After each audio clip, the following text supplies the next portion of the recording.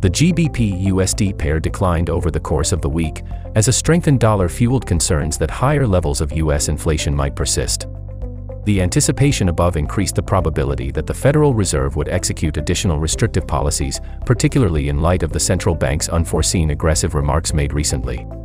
The stagnant UK GDP in the third quarter further exacerbated the pressure on the pound, suggesting a state of economic stagnation.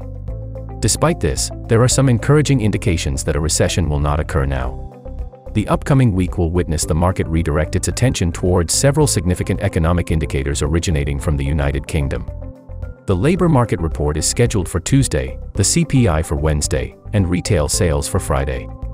In the daily chart of Euro USD, the bearish continuation continues after last week's recovery to the 200-day simple moving average level.